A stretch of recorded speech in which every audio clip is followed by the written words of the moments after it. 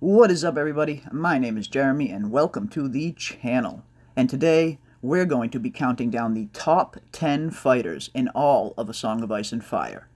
Now, I know top 10 lists like this are incredibly hard to nail down, especially with a property like A Song of Ice and Fire, as there are a countless number of incredibly good fighters in this story but I'm going to do my best to try and count down my top 10 fighters, and I would love to know what your top 10 fighters are as well. Definitely let me know down in the comment section below after the video, and I would love to see where we compare and where we differ on the list. And don't forget to slap a like on this video and subscribe and hit that bell for notifications so you don't miss any of our upcoming content that we'll be releasing while we wait for Season 2 of House of the Dragon to come around, along with weekly live streams every Sunday night covering everything from the show, Winds of Winter, and many of the Song of Ice and Fire adaptations that are in pre-production. So without further ado, here is my top 10 fighters in all of A Song of Ice and Fire. Starting our list off at number 10, we have Sandor Clegane, aka the Hound. Sandor was born in 270 AC and was the sworn shield of Prince Joffrey Baratheon, Nicknamed the Hound for his fierce nature and his unwavering loyalty to House Lannister and the three dogs featured on his family banner. Sandor was the second son of House Clegane and had an older brother by the name of Gregor, aka the Mountain. When they were children, Sandor received a very gruesome facial burn at the hands of his older brother, Gregor, when he pressed Sandor's face into the fire and held it there when he caught him playing with a toy that didn't belong to him. Ever since that, the Hound has hated not only his brother, but fire alike. The Hound would go on to join the Lannister army when his brother took control of House Clegane after the mysterious death of their father. He saw his first action in the Lannister army when Tywin Lannister sacked the city of King's Landing during Robert's Rebellion. He would later go on to become the sworn shield and protector of Prince Joffrey Baratheon, the crown prince and next in line to the throne. Overall, the Hound was an extremely formidable and fierce fighter, and a very imposing character as well. Jaime Lannister, one of the best fighters in the realm, highly regards Sandor as one of the strongest men he has ever seen. Up next, coming in at number 9, we have Jon Snow. Jon Snow was born in 283 AC and was raised the bastard son of Lord Eddard Stark, the Lord of Winterfell. Jon was raised at Winterfell among the rest of Ned Stark's trueborn children, but he was never told the identity of his mother.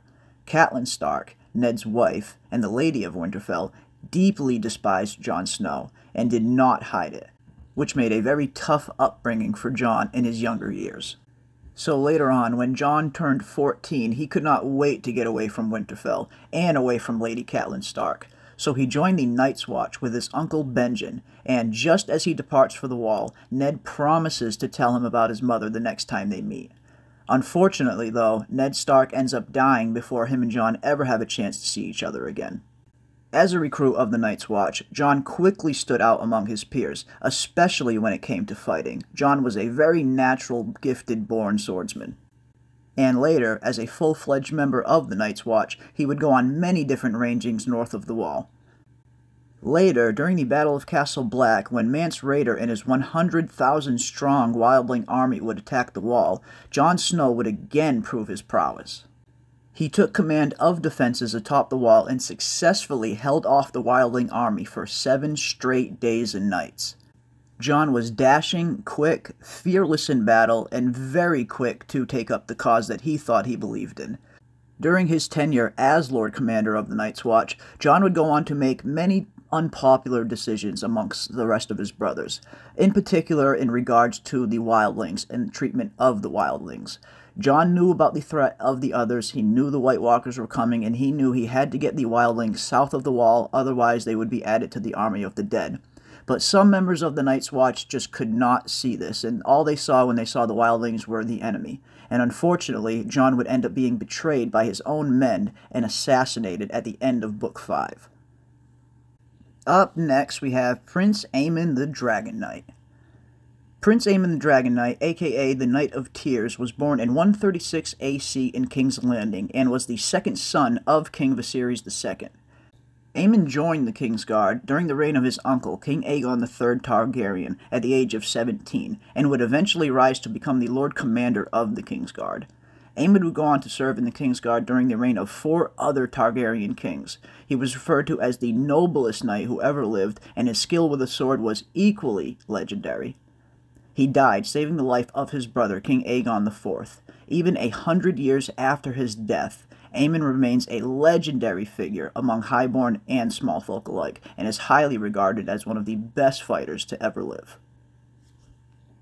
Up next, coming in at number 7, we have Gregor Clegane, aka the Mountain.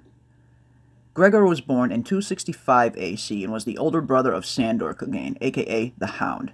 Gregor was freakishly large and often called the Mountain that Rides. He is well known for his size, cruelty, and his prowess in battle. He is close to 8 feet tall with massive arms and legs the size of tree trunks. Gregor would go on to pledge himself to House Lannister and would often be referred to as Tywin's mad attack dog. He took part in the sack of King's Landing, committing heinous acts, including killing Elia Martell, the wife of Rhaegar Targaryen, and their children.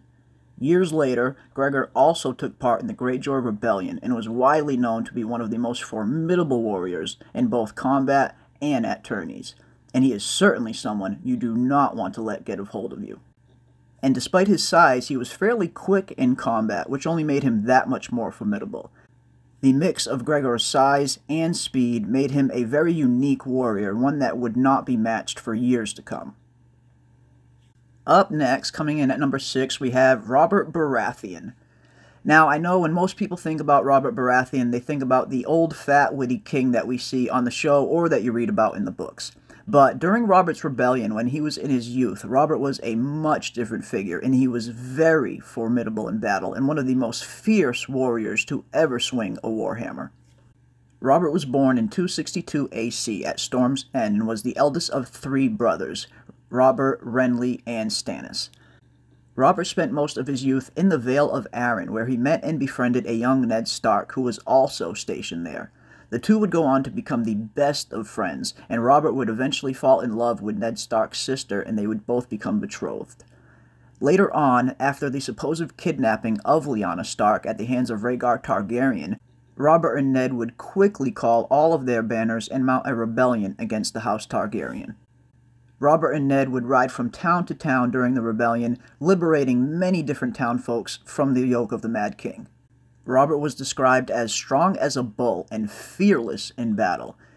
He would go on to win the rebellion when he met Rhaegar Targaryen at the Battle of the Trident and the two of them fought in single combat, with Robert ultimately winning the fight when he landed a devastating blow to Rhaegar's chest, absolutely smashing all of the rubies he had in his armor. From that point on, the river would forever become known as the Ruby Ford. Coming in at number 5, we have Jaime Lannister, aka the Kingslayer. Jaime was born in 266 AC at Casterly Rock and was the eldest son of Tywin Lannister, the richest man in Westeros. At the age of 15, Jaime became the youngest knight of the Kingsguard in the history of Westeros, which deeply angered his father Tywin, as Jaime was set to be the heir of Casterly Rock.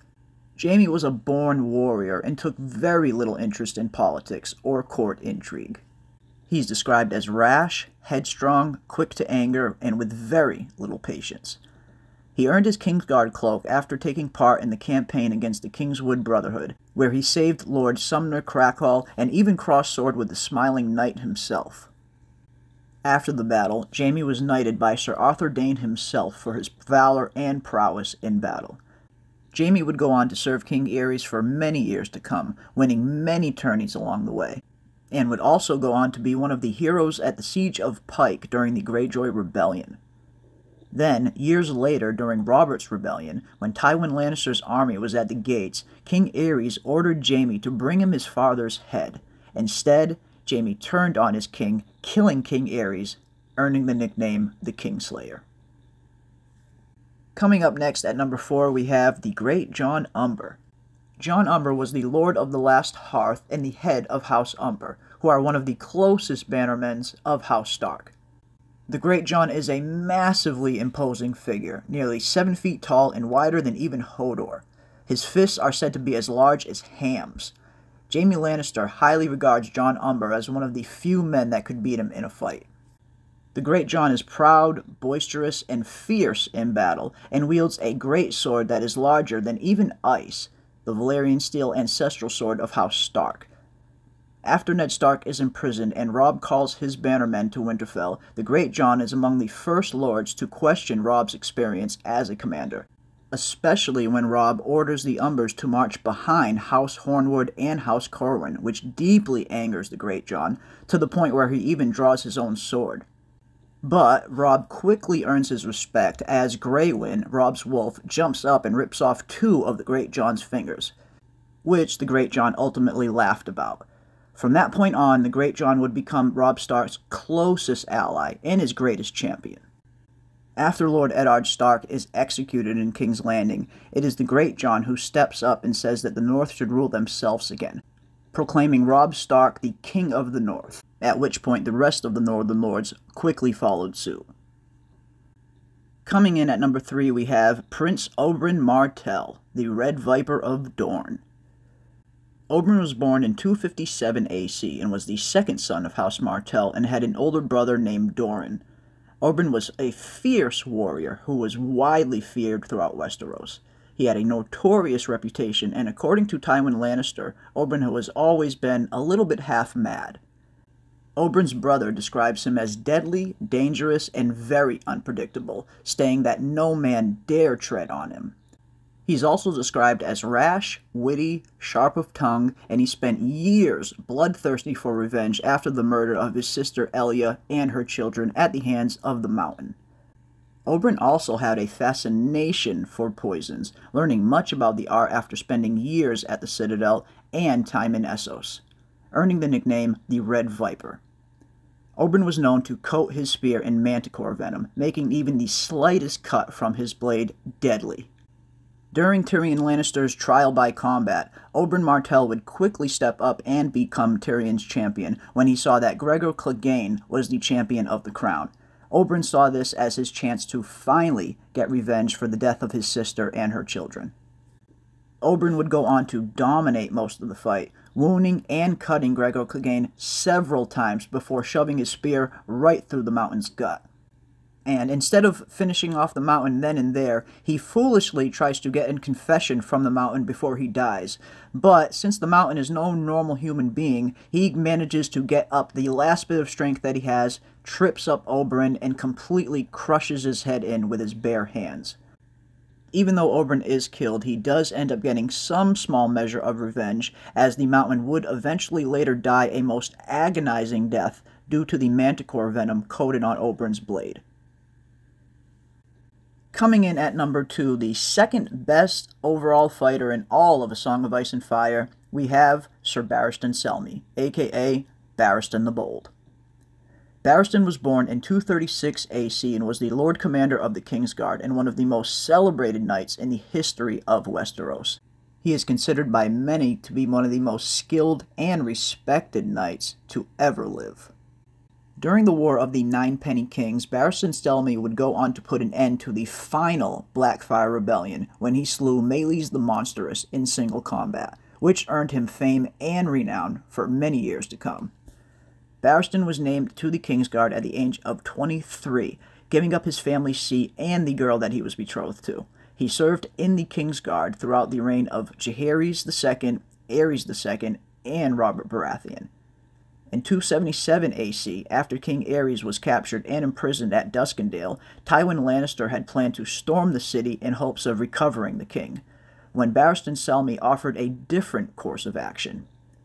Disguised as a hooded beggar, Barristan would gain entry to the city by climbing the walls at night and single-handedly rescuing the king, cutting down century after century as he made his way to the dungeon. Then, on his way out, he made his way to the stables and quickly got King Aerys out of there, taking an arrow in the chest on his way out. Many stories and songs were written and sung of Barristan's deeds after Duskendale. Later, during Robert's rebellion, Barristan fought for the House Targaryen, slaying dozens of enemies at the Battle of the Trident before getting wounded. Impressed by his skill and valor in battle, Robert Baratheon pardoned Barristan Selmy and kept him on as Lord Commander of the Kingsguard. And coming in at number one, the best fighter in all of Game of Thrones and A Song of Ice and Fire, we have none other than Sir Arthur Dayne, the Sword of the Morning. Arthur was born in 260 AC in Dorne to House Dayne and was widely known as the greatest knight to ever live. He wielded a legendary sword, the most famous sword in all of Westeros, as a matter of fact Dawn, the ancestral sword of House Dayne. It was said to be forged from the heart of a dying star and was said to be as sharp and strong as any Valyrian steel.